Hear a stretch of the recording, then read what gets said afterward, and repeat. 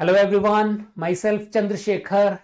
So guys, so many students are always confused with the velocity triangles for the turbine, pump as well as compressor.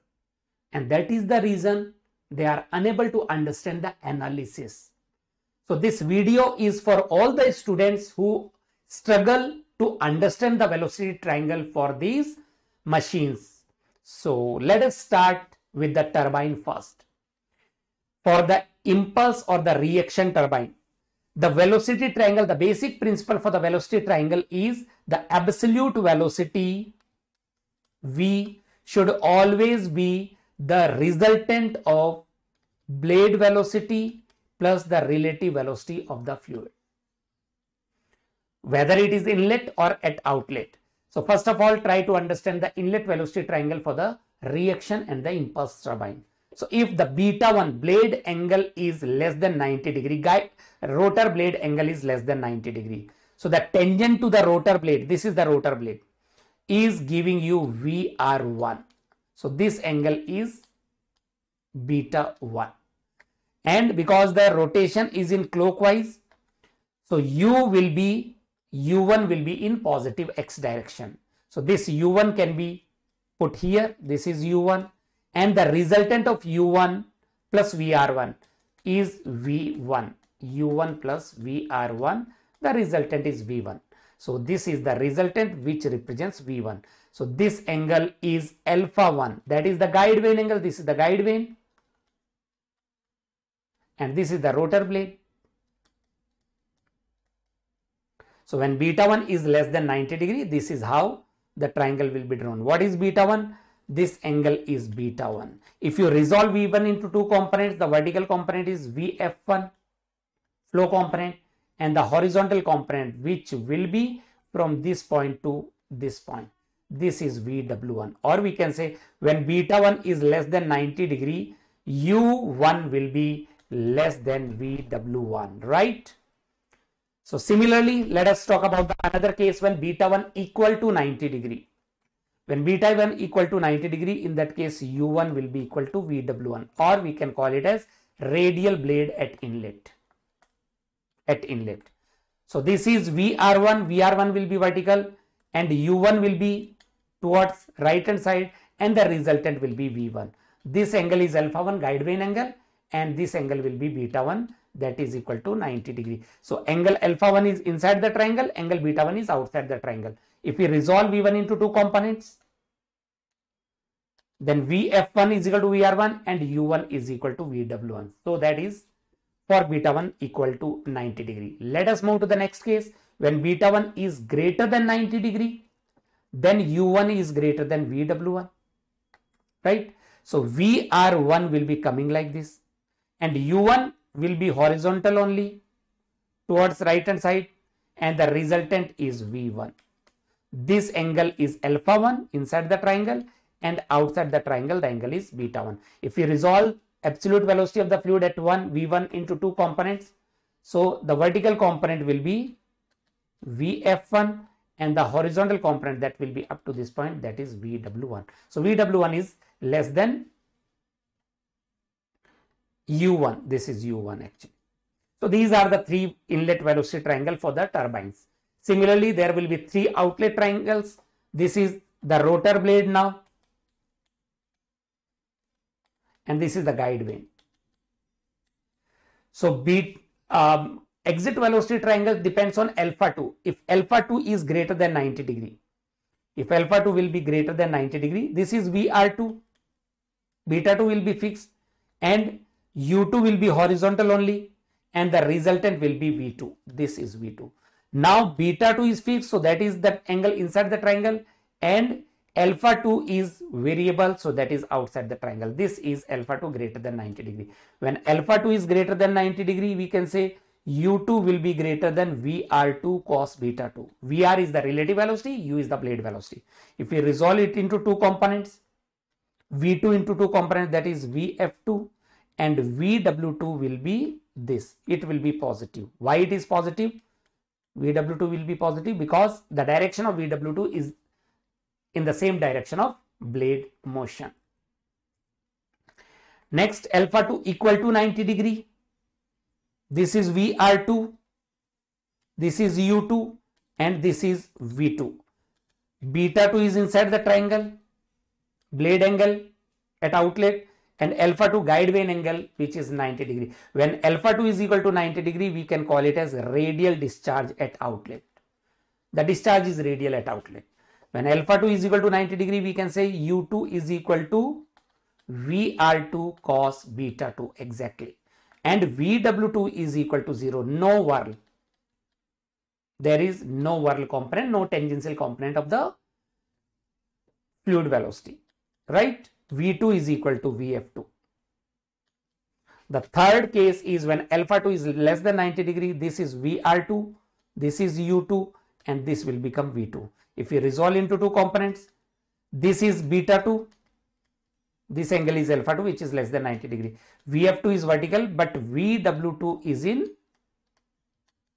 backward direction so it is negative. So here u2 will be less than vr2 cos beta 2 or we can say vw2 is negative when alpha 2 is less than 90 degree. These are the inlet and exit velocity triangles for the turbine.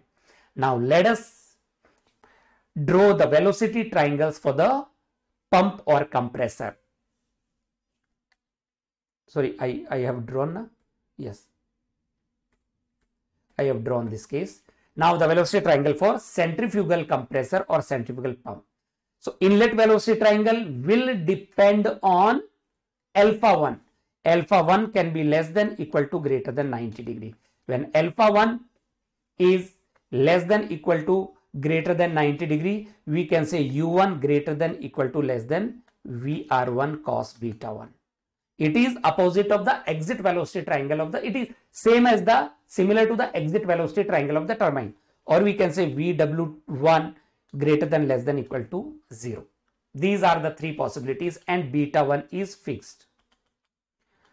The exit velocity triangle for the turbine and the inlet velocity triangle for the compressor or the pump will be similar right? So there are three possibilities. This is let us say vr2 sorry vr1 and u1 is like this. This is u1 and v v1 can be of three possibilities. V1 can be like this. V1 can be vertical and v1 can be like this. There are three possibilities. V1 can be like this or V1 can be like this or V1 can be like this. This is angle beta 1 and here both the angles will be inside the triangle. This is alpha 1 less than 90, this is alpha 1 equal to 90 and this is alpha 1 greater than 90 degree. This is point 1. This is how we can draw these velocity triangles. And if we resolve V1 into three components, if V1 is less than 90 degree, alpha 1 is less than 90 degree, then VW1 will be this.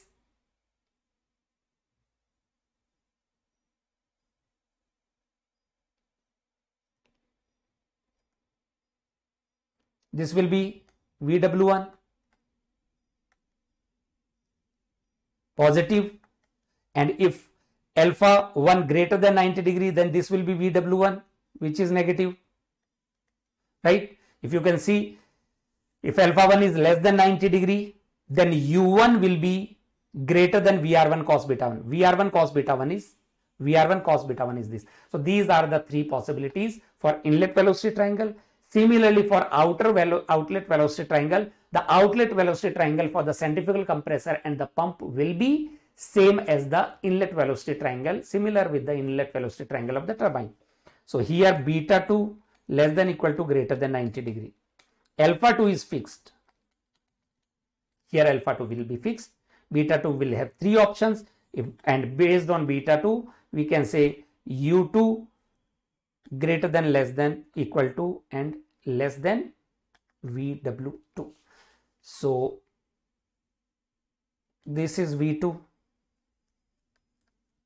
this is u2 this is alpha 2 which is fixed. So V R2 will have three possibilities. One is this, another is this, and the third one will be this.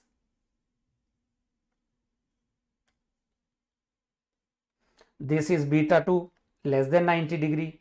If this is beta 2 equal to 90 degree and this beta 2 greater than 90 degree. So when beta 2 is less than 90 degree, this is uh, VF2 and VW2 is this. VW2 is fixed. So VW2 will be U2 will be greater than VW2. When beta 2 equal to 90 degree, U2 is equal to VW2. When beta 2 is greater than 90 degree, then V U2 will be less than VW2. U2 will be this much only. So these are the velocity triangles for the centrifugal compressor and centrifugal pump. In case of axial flow compressor, that diagram will be similar.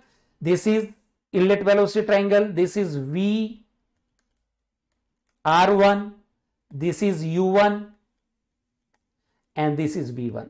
The only thing is the angles are measured with respect to axis. This is the axis, axial direction.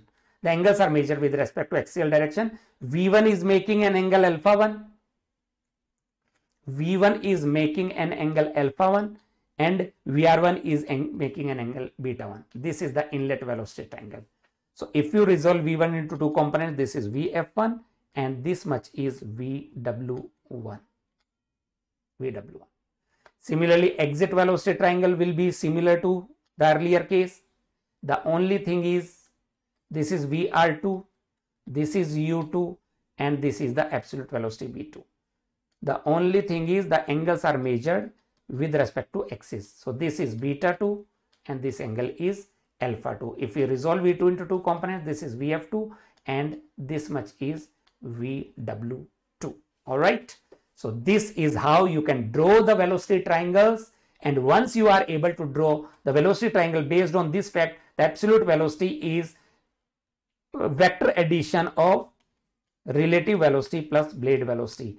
In all the diagrams, this is the one which is the common uh, relationship.